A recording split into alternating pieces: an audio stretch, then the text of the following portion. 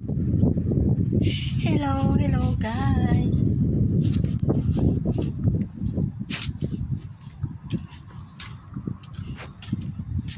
Ayan guys, ang ganda ng view dito sa amin. Nasa tabing dagat po kami.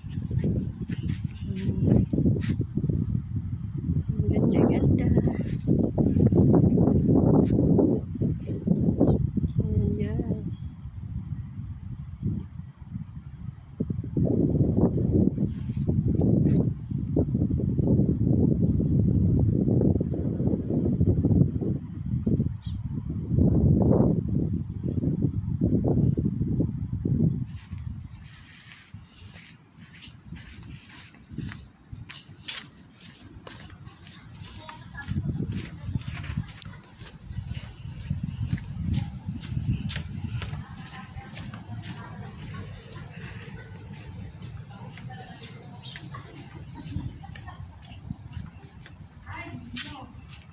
Ayan, yung dalawa, yung huli nila.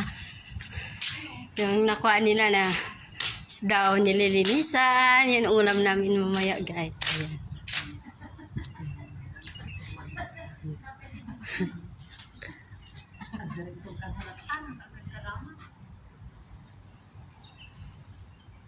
Kinana